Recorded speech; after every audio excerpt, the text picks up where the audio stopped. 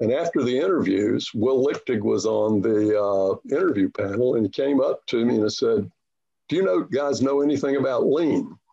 And I said, Well, you know, I've been to several of Greg's uh, coffee and donuts seminars where he talked about it. And it's really exciting, but I've never done it. And Will said, Well, would you be willing to embrace it? And I said, I would. I'd really like to learn how it goes. So we won. And then it was, uh, you know, how on projects, when you engage them at the very beginning, everything's possible, but everything's a constraint. Right.